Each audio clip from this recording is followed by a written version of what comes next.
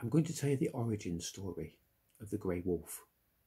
Now, once upon a time, a few years ago, there was a Hollywood movie called The Grey, starring Liam Neeson, you know, the man with a, a large set of special skills. And his skills in this film were killing doggies, well, hunting wolves out in the Alaskan tundra. And one day he finished his job and he was on an aeroplane flying home when it crashed in the wilderness. And he and all the men on board the aeroplane were hunted down by doggies, sorry, wolves. What's interesting about this film for me is very simple. Halfway through the film, I walked out of the cinema.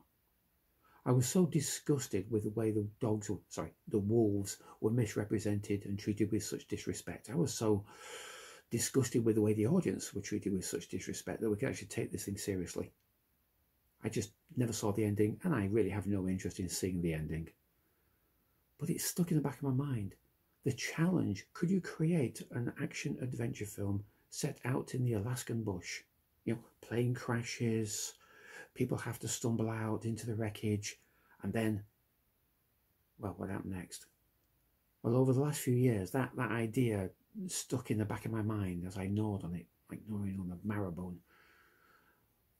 And this year, end of 2020 into New Year 2021, I sat down and wrote the script. It took me eight days.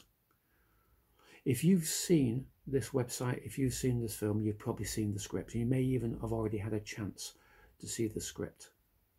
It started with the grey, but now it's the grey wolf.